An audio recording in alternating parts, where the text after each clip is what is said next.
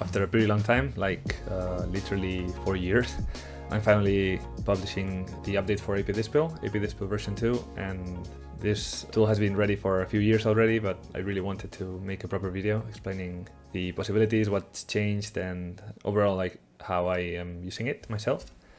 So yeah, AP Despill from the beginning was just a basic Despill tool based on Blink script code and what was quite special about it is that it lets you select a specific tone and then it will uh, perform the despill for that tone. So the way that's working um, is that the moment you choose this to be your green, it's kind of calculating what's the uh, color angle between that color and green. It's just performing a non-luminance aware, let's say, hue rotation in that direction. Then once that's done, it kind of despills this color here. And then it's just taking back into position. So that was the concept of the uh, specific tone despilling. And now I'm going to give a brief explanation of what exactly this despill is in this case, because uh, this is uh, an important piece of information for understanding version 2, I think. So let's say for a specific pixel of the image, we might have these values more or less. So there's like more green than red and blue. The way a conventional despill is working is that it needs to understand what means to have more green than necessary. So the first step is to calculate what's the necessary or the limit that any remaining green should be removed. Um, by default, you have a despill math average, which means that if you are displaying um, one primary, like green, it will calculate just the uh, average between the other two colors, red and blue in this case, so this will be the baseline or the amount of green that if a pixel has, it will just be removed. Uh, this can be set to something other than the average. If you just do maximum, the limit will be here and only this part will be removed. Uh, if you do it at minimum, then it will be this part. So all this will be removed. As you can see, it's something quite arbitrary. You can also set it to custom and then you can really nail the range uh, this should be changed visually anyway. Um, and yeah, that will uh, change this selected point up and down towards the minimum and the maximum of the other two channels. Then once we have the baseline limit of color for that specific channel, we can tweak it with the limit. Um, the limit is nothing else than a multiplier for this value here. So if uh, the limit is at 1, that means that the green that will be removed is whatever is remaining from this average. If we set the limit to 0.9, that will multiply this by 0.9, meaning more green will be removed. So then basically if you set the limit to zero, as you can imagine, uh, that means that all the green in the image will be gone. That's the main part of the spilling, and it usually also involves respilling. That means that for whatever part of a color has been removed, that's desaturated, turned into gray, and that amount of gray is added into all three channels in the same amount. And that way, whatever luminance is lost through despilling is recovered on all channels. This part is also useful for minimizing uh, grain or, or other artifacts, or you can even multiply this gray or white by any color you need. And that will turn the despill color into a different color that will help the composite probably. As you can see, the respilling means you are desaturating this amount of green that has been removed. And there's not a unique way of desaturating an image. So here you can select what the color weights for the desaturation will be. Once you have this desaturated version of the despill, once again you can multiply it by color and that will allow you to select a different amount of respilling.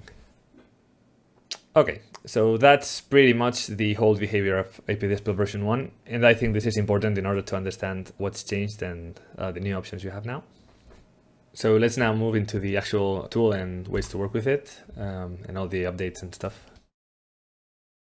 So AP Despill 2 is already part of Nuke Survival Toolkit since version 2.1.0 and it should be available in Nukepedia quite soon. Here's the main updates in version 2 apart from a quite optimized Blink script code inside. I think the biggest two updates by far are these two in the top of the tool. One of them is that you can now set the despill to absolute mode, uh, which means that instead of performing a despill, it will be performing a keying algorithm. Uh, that means that whatever color you choose, if you respill to zero, a key will be performed with that color. If you output the spill matte in the alpha inverted, that means that you uh, pretty much perform the keying operation. So that's not only removing the excess of green in each pixel, but um, the actual color that you selected, it's removing the whole of it in every pixel. So as you can see, um, it's basically a key light that's going on. You see, it's um, literally a key light operation. One of the things that this new workflow enables is that now the respill color will be added in an absolute way. So if we leave uh, respill color to one, then we just change the actual green color for uh, white. This means that the absolute mode can be used for things like um, turning the spill into a specific color, like doing this. And well, you might be used to this kind of workflows from either keylight based uh, workflows or other despill tools. So this should be treated as uh, two different ways of using this tool. One is the absolute mode, which as you see is uh, pretty much a key algorithm, good for edges, good for situations where you want to do a despill to color. Or the relative mode, which is the conventional despill algorithm. This is useful for uh, the interior of your subject. Uh, it's useful for whenever you don't want to do such a harsh um, despill operation. Just remove the um, yeah the actual excess of, of uh, green or uh, specific color you select. This absolute mode also becomes quite interesting with the second big update on the tool, which is the ability to um, turn most of these sliders into image-based inputs. By the way, when you check and uncheck this, nothing is changing inside, so you can just turn it on always if you if you prefer. Um, I just exposed the option here to avoid visual clutter for people that uh, will probably just use it like this. But what's the cool part of this? So one of the cool workflows that this enables now is that uh, if you turn on both image-based and absolute mode, as I just explained, this is just performing a keylight operation. But instead of using this picked color, let's use an actual image. So in this case, I'm just generating a um, clean plate via doing a hard matte of the character and an extend inside. So here we have a sort of uh, clean plate. We can use this for the actual color of the, the spill. You see now that it's using the color from the input. So this is pretty much an iKeylight, a keylight node with uh, an image-based input, sort of like IBK. And that's useful both for keying, like we just did right now, or for despilling in relative mode. So right now, each pixel is getting dispelled towards the color that we can see here. I think that's pretty powerful. And uh, until now, the only way around this would be to just get different despills uh, for different colors and just mix between them or something like that.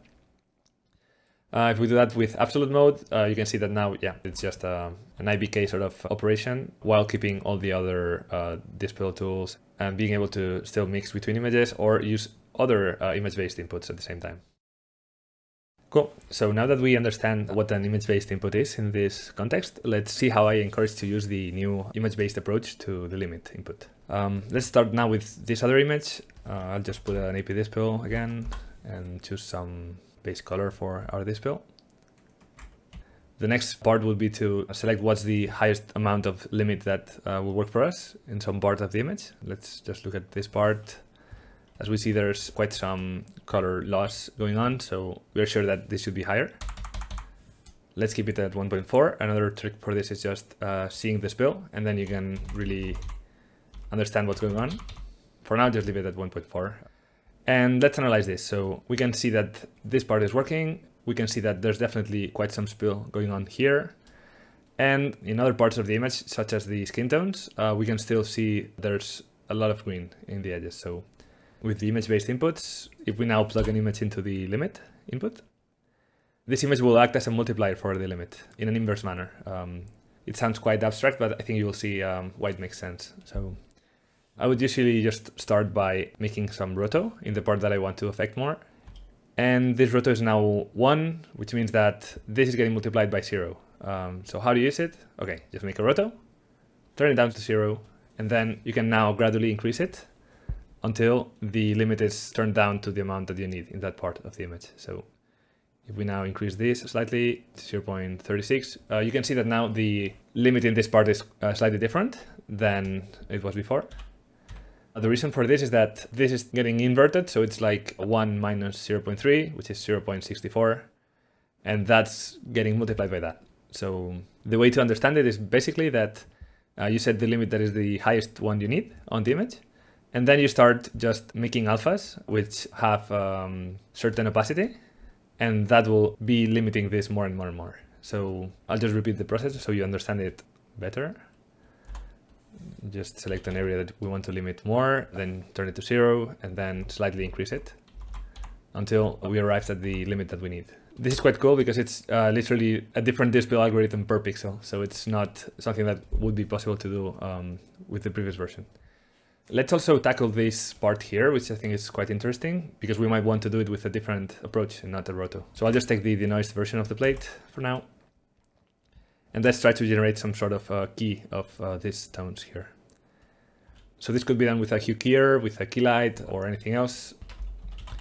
I tend to use this tool, uh, which is mainly meant for mapping normals, but uh, it works quite well for colors, as you can see. I'll just decrease the radius to something that makes sense. And as you can see, now we have an alpha for these parts here. Let's now merge it with the roto and let's see the result. So you can see that now the limit is effectively turning to zero in this part. So we can just now turn the channel merge mix to zero again and slightly increase it until the limit range for our despill goes to a value that we find appropriate.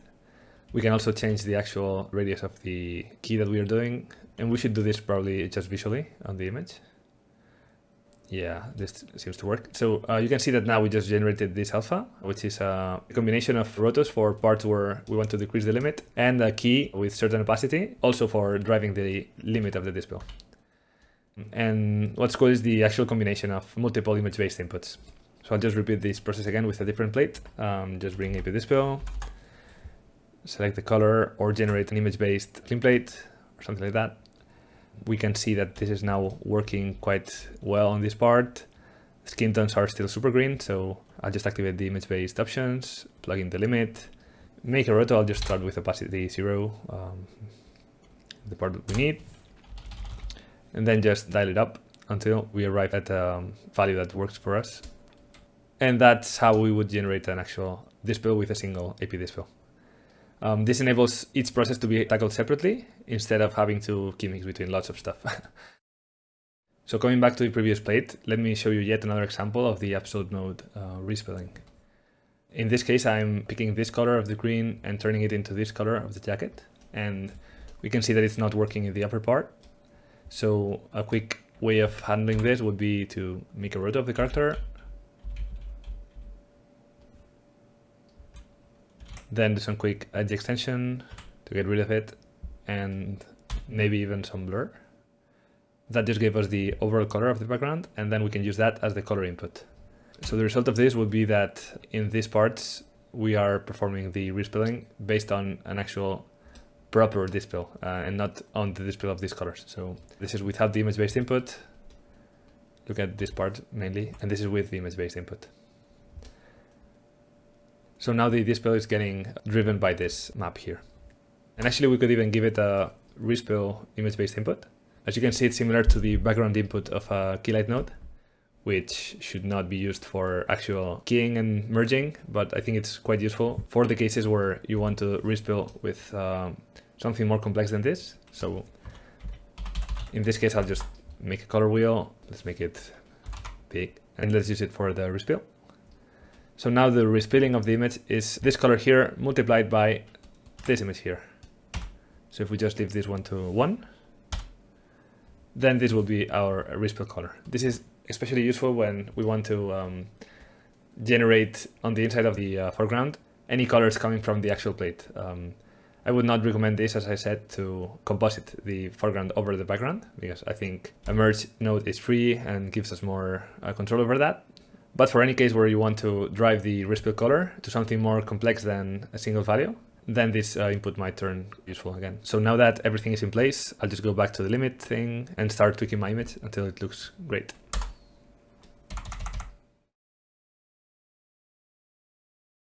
Okay, I think that was pretty much everything I want to uh, explain about the main two features in this tool, image-based mode and absolute mode. And let's now move to another feature that was added in version 2. It's not meant to be used by everyone, I barely use it actually, but it's a workflow that uh, many compositors use and find useful. So it's about these color space options you can see here, and this is how you're meant to use it.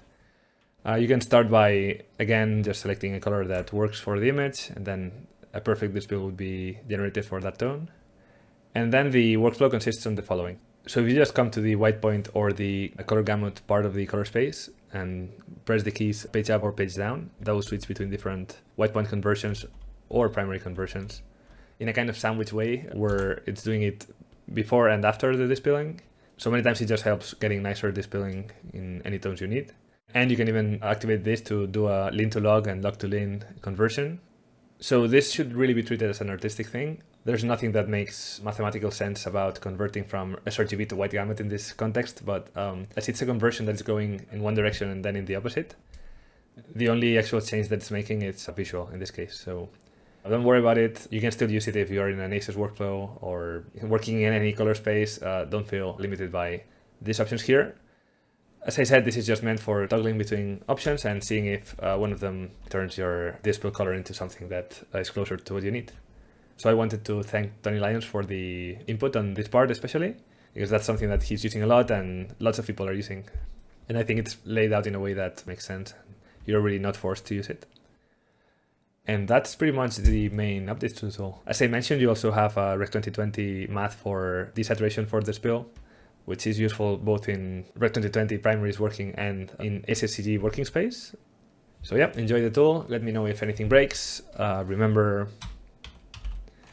if you just bring it by default, it should work just the same way the previous one did. So uh, I think it can probably safely be replaced and it should be also more efficient in the code. So thanks for watching and see you in the next one.